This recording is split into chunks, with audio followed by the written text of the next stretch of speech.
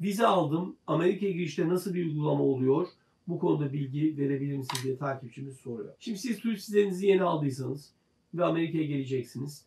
Dolayısıyla girerken görevliler sizin vizeyi aldığınız amaçla gelip gelmediğinizi anlamaya çalışacaklar.